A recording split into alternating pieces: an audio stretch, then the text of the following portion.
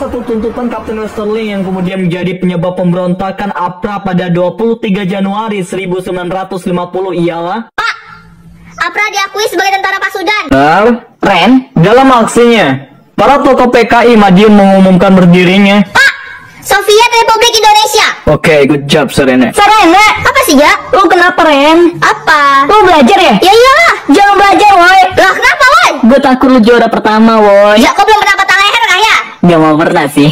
Makanya diam kau. Eh, Ren, lu mau kerja? Iyalah. Janganlah, woi. Tetaplah rebahan.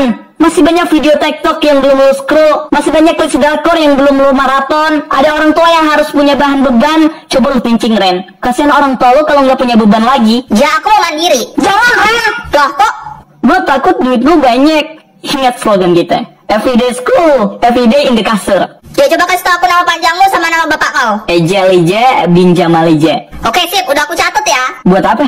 Mau aku santet. Ah, tambah itu aku udah suka kamu, boy. Santet, woi. Santet, bukan pelet. Maksudnya? Kalau kau muntah paku sama beling, jangan kaget ya. Oke.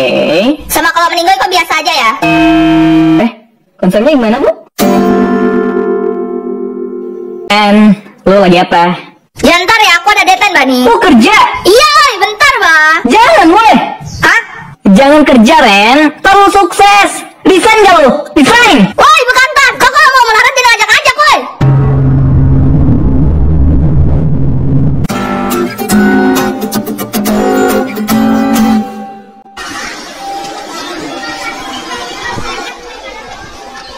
Woi, jangan ya. Ren?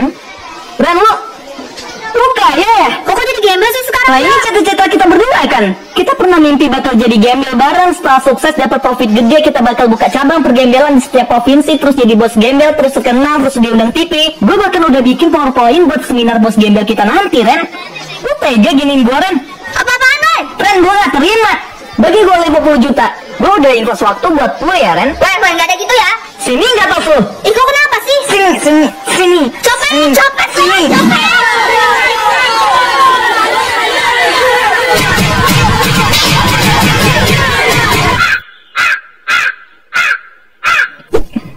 Gue bakal jadi bos gembel